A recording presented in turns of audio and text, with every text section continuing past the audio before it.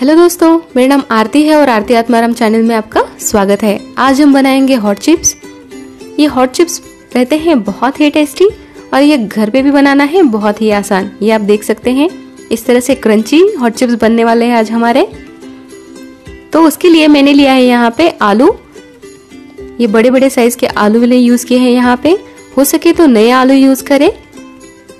तो इसको हम अच्छे से धो के इसका छिलका निकाल लेंगे इस तरह से। ये मैंने छिलका निकाला हुआ है। अब एक पतीले में भर के पानी लेंगे और इसमें हम ये फिटकरी 30 सेकंड तक अच्छे से घुमाएँगे पानी में। पानी इतना लेना है कि हमारे जो ये आलू है, वो अच्छे से डूब सके अंदर।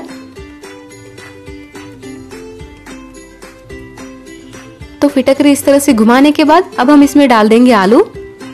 इसको हम 10 मिनट के लिए आलू को पानी में ही भिगो के रखेंगे। ये आप देख सकते हैं, पानी का कलर धीरे धीरे चेंज हो रहा है। अब ये आलू हम निकाल लेंगे 10 मिनट हो चुके हैं। एक साफ़ सुथरे कपड़े से हम आलू को अच्छे से पोंछ लेंगे। आलू में थोड़ा सा भी पानी नहीं रहना चाहिए।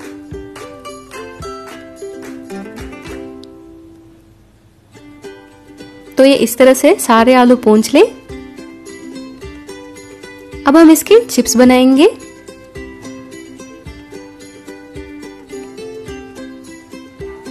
तो यहाँ पे मैंने ये आलू बनाने का स्लाइसर लिया है। इसे हम ऊपर से नीचे बस स्लाइस करते हुए इसके चिप्स बना लेंगे। और ये बहुत ही आसानी से बन जाते हैं। ये देखिए, इस तरह से सारे आलू के हम चिप्स बना लेंगे। ये पूरे बन के, बन चुके हैं। अब यहाँ पे हम कढ़ाई में तेल गरम करेंगे और इसमें एक एक करके पूरे स्लाइसेस डाल देंगे। जितने की ये कढ़ाई में आ सके, उतने स्लाइसेस डाल दे शुरुआत में। याद रहे, जब हम स्लाइसेस डालते हो, तब तेल हमारा अच्छा गर्म होना चाहिए। और तेज आँच में ये डालते जाएँ और फिर धीरे धीरे आँच को कम करते हुए हमारे जो चिप्स हैं, उसको फ्राई करें।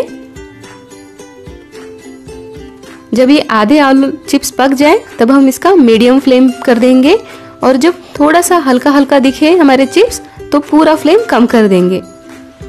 ताकि ये जो चिप्स है, वो जलेंगे नहीं। पूरा अंदर तक अच्छे से इसको फ्राई होने देंगे। ये आप देख सकते हैं, इसके जो बुलबुले हैं वो पूरे कम हो चुके हैं। इसका मतलब हमारे जो स्लाइसेस है, ये पूरे चिप्स बन चुके हैं अच्छे से। अब हम इसको निकाल लेंगे। और इसी तरह से हमारे सारे चिप्स बना के रेडी कर लेंगे।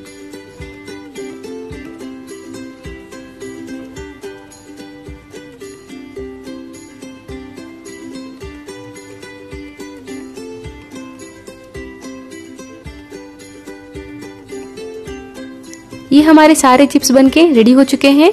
इसमें मैं थोड़ा सा सेंधा नमक डालूँगी, ताकि चिप्स का टेस्ट जो है वो और अच्छा आए।